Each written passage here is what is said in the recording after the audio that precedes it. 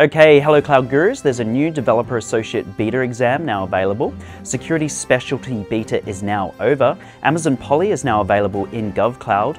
F5 Network WAF rules are also now available, and we announce the winner of Guru of the Week. I'm Ryan Kroonenberg, and you're watching AWS This Week.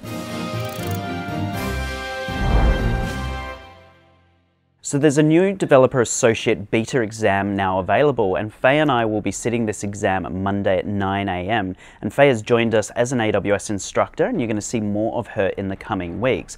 Now the feedback is that the developer tools uh, services in the AWS console feature very heavily in the exam. So, so it's going to be tools like CodeStar, Code Commit, Code Build, Code Deploy, Code Pipeline, and also Cloud9 and X-Ray. So we think those are the kind of things that are going to feature really heavily in this exam. So we're going to sit the exam this Monday and we're going to have an exclusive report available for you on our YouTube channel soon afterwards.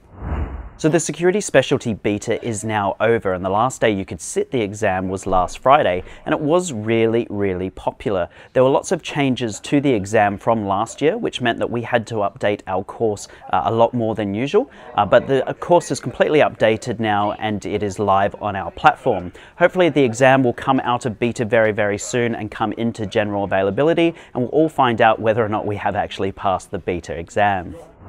So Amazon Polly is now available in GovCloud. And for those of you that don't remember what Polly is, it's the service which turns text into lifelike speech, and it's available across dozens of voices in multiple languages. And it's probably only a matter of time where when you call up the federal government, Polly will be the one that you'll be speaking with. So there are some new WAF rules now available from F5, and F5 is probably one of the most recognized vendors in the networking community.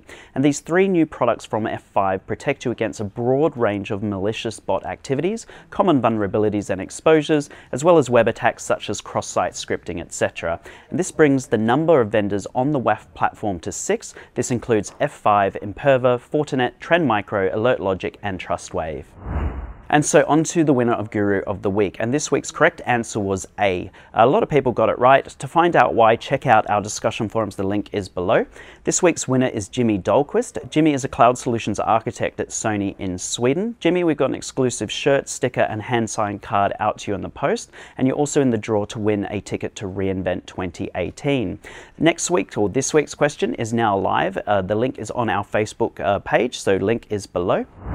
So wish us the best of luck for our Developer Associate Beta exam. We're both going to sit the exam 9.30am this Monday morning. So that's it from us. Keep being awesome Cloud Gurus and we'll see you next week.